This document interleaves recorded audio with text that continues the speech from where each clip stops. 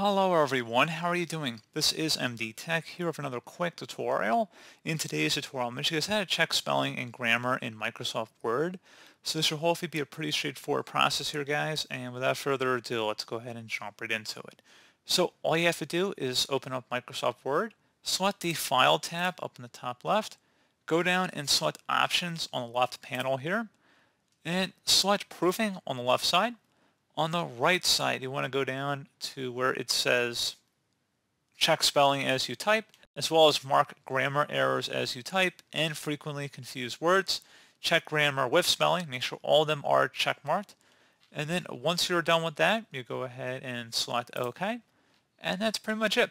And if you want to perform a quick spell check, you can go ahead and select the Review tab and select versus spelling and grammar. Go ahead and left click on that and it'll go ahead and run a manual spell check of your Word document and see if there's any issues the text.